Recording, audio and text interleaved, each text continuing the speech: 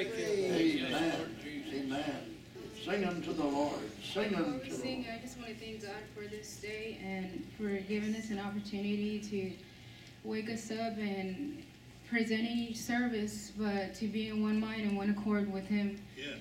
Because I just, all I want to do is I just want to worship Him. Um, I, I, I always been feeling God dealing with my heart, and last Come night, on, Paula.